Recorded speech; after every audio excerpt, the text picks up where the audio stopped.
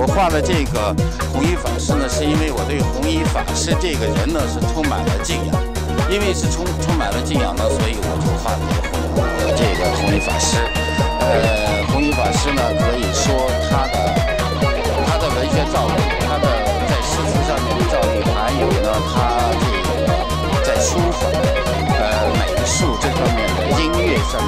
说他是中国近代史上我最佩服的一个。嗯，属于文人类的大艺术家吧，所以呢，来画的这个。我在当时画这个呢，我的个人想法呢，就是说中国画，不管是人物也好，山水也好，还有花鸟也好，应该继承中国文化的传统。那么呢，这个传统呢，一个呢，就是说呢，呃，要在写实的基础上有所变化，能够取其精神。所以呢，我是抓住这个弘一法师的呢。呃，他的精神来来画的，所以人物呢比较比较清瘦一点，呃，这个这个其他的呃，从从从他的整个精神面貌上去抓住这个人，而不是特别那个形式，就是说不是在乎特别呃在形体上是不是特别像他，而是想就是说呃达到神似这样一个目的，这是我创作这幅画的一个主要的一个基本想法。好会长，谢谢。简介啊，啊，介绍一下。啊，我叫汪义阳，啊，这个从小呢，这个就学画，啊，这个也也画了一生了吧，啊，以画为业。同时呢，因为我是出生在鼓浪屿，鼓浪屿是音乐之岛，所以从小呢接受音乐的教育比较多。啊，实际上音乐的这个素养呢，比绘画的素养还要深啊。但是呢，因为机会的问题，音乐学院上海音乐学院也考上了上海美专啊。经过家人家乡的这个老辈的指点啊，让我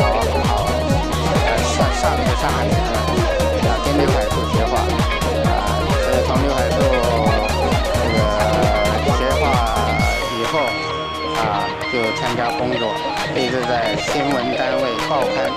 杂志、杂志这些单位做编编辑工作、编审工作，啊，那个一一直是没有离开过创作，啊，到了八十年代初呢，开始就是改革开放了，开始要考虑中国化，啊，如何再继续往前发展，啊，这个如何在继承传统的基础上往前发展。呃，追求探索创新啊，那么这样在这种情况下呢，又不愿意接完全接受西方的这种现代艺术的影响啊，愿意呢从中国这个的根去找它的啊语语言，所以呢，我从书法、草书，特别是草书啊，呃，把这个草书引进了绘画。用草书的线条来表现人物啊，那就是简阔，语言简阔，但是内涵还要丰富啊，还要能够引人思维，能够引人啊进入一个更深的境界，来追求这个方面啊，探索了有啊有十来年吧啊，这样子的取得了一些小小的成绩啊，现在呢。呃，就狂草人物画啊，在社会上产生一定的影响，在画坛产生一定影响啊，这也促使大家重视如何从传统文化的呃去找语言，找我们本族的语言，对民族的语言啊，来发展对民族的艺术。所谓狂草人物画就是这样，因为我画人物不是完全。不是完全追求变形的啊！如果变形的，用草书来画变形的人物比较容易，不拘束，比较自由。但是呢，你要雅俗共赏，让老百姓能看懂，所以你还要有人物的基本比例、基本结构啊，上身多的多宽，下身多长，这个比例要合理，要合理。那么这个动态呢，也要合理。啊，要要真实，让人感到是生活的动态，不是造出来的啊。那么人物的重点画人物重点呢，就表现神人物的神精气神啊，所以呢，抓住精气神，然后用简朴的这条线条来为这个神服务啊，能就是跟他配合起来，跟这个神精神配合起来。那么这个动态呢，就是说画完这个人人物的精神面貌之后。我就用一一个比较粗的啊，呃，大号毛笔，这个从这儿开始，然后到这儿一啊，从这儿开始到这儿，到这以后然后过来，然后啊这样子，到这开始笔锋一转，笔锋一转就淡了，啊，然后再。过来，然后从这收笔，这收笔把整支笔都压下去了，那么这个浓的关系又出来了。最后加加加这两笔，啊，都是就是说我画画不是在画画，而是在写画，啊，用书法的基本原则来写写这个人物，啊，这个东西就你没有比较深的基本功很难达到。你没有这个广博的这个这个这种一种各个方面的素养，你很难做到啊。所以这个东西，就是说，很多人想学这个，没办法学，因为他的个性太强了，他的独特性太强了。他他这个模仿几条线条可以，但是但出不来那种感觉，哎，感觉出不来，最后这两个鞋呢？就比较简单的，就服从他了，来装饰这个这个人物。不画这个鞋也可以的，加加这两条解决了，这也可以的。啊，多余的话，这两两双鞋对不对？通俗，让大家看得懂。啊，写的是那么回事儿，那就可以的啊。所以呢，这幅画呢很受啊，在台湾也很受欢迎。啊，台湾几次这个一些画院办展览都来征稿。我给他们寄的都基本上都是都是他，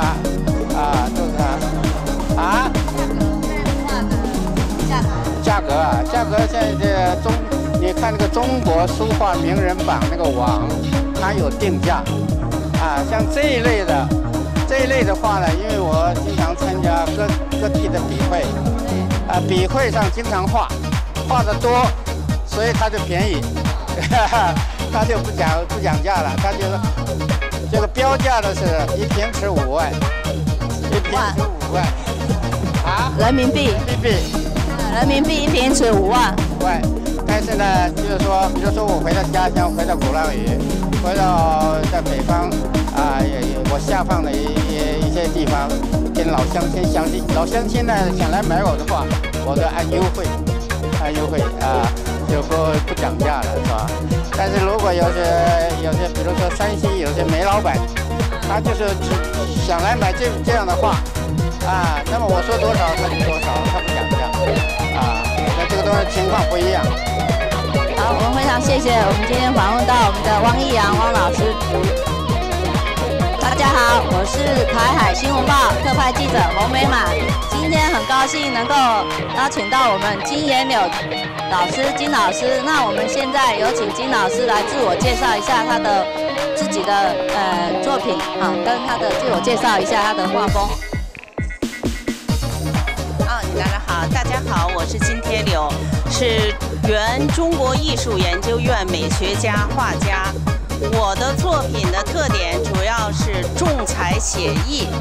重彩写意。像这一幅画是国家外交部作为国礼送给各个国家的领导人，譬如说吉尔吉斯坦、哈萨克斯坦等国家的总统，然后也送到俄罗斯的文化部长、外交部长、海关关长等等，作为国礼送过去的。现在的这个名字呢叫“鸿运当头”。两条红头鱼，鸿运当头。下边呢，四条鱼呢是春夏秋冬四季有余。这一条黑鱼呢是的，这一条是财运冲头。这样合起来六条鱼呢是六六大顺啊。这个水草水纹花，这个水花的走向呢是阴阳太极图形，叫阴阳合合啊。那么在咱们广东、福建呀，还有东南亚一带，呃，他们喜欢提叫金玉满堂啊。上海呢喜欢提叫国破金融啊。国家送国礼的时候呢。就叫和谐永远，啊哈，这这样的呃仲裁协议呢，在咱们国家可能还是很少有人这样画，啊啊啊，好。